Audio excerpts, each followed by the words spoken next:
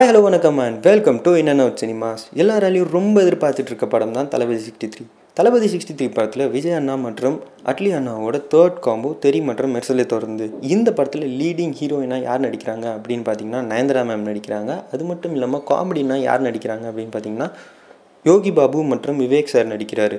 அதுக்கப்புறம் விஜய் அண்ணாவோட ஃப்ரெண்டாக வந்து பரியரும் பெருமாள் கதிர் நடிக்கிறார் ஸோ இதெல்லாம் சொல்லிட்டாங்க. ஆனால் வில்லன் யாருன்னு கடைசி வரைக்கும் சொல்ல. ஸோ இப்போ லேட்டஸ்ட்டாக வந்த அப்டேட் என்ன அப்படின்னு பார்த்தீங்கன்னா வில்லனாக வந்து பாலிவுட் ஸ்டார் கிங் கான் அதாவது ஷாருக் கான் நடிக்கிறதுக்கு அதிக வாய்ப்புகள் இருக்குது அப்படின்ற மாதிரி சொல்லியிருக்காங்க. ஷாருக் கான் கூட டேனியல் பாலாஜி மற்றும் ஜாக்கி ஷெரீஃப் அப்படி நடிப்பாங்க அப்படின்ற சொல்லியிருக்காங்க.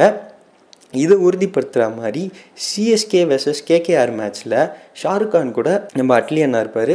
ஷாருக் கான் வந்து வில்லனாக நடித்து விஜய் அண்ணா வந்து ஹீரோவாக நடித்தா அந்த காம்போ எப்படி இருக்கும் அப்படின்னு சொல்லிட்டு கமெண்ட் பாக்ஸில் நீங்கள் கமெண்ட் பண்ணுங்கள் மறக்காமல் இந்த வீடியோ உங்களுக்கு பிடிச்சிச்சுன்னா லைக் பண்ணுங்கள் ஷேர் பண்ணுங்கள் அண்ட் இந்த மாதிரி அப்டேட்ஸ் உங்களுக்கு வரத்துக்கு சப்ஸ்கிரைப் பண்ணி பெல் ஐக்கான் அழுத்திக்கங்க.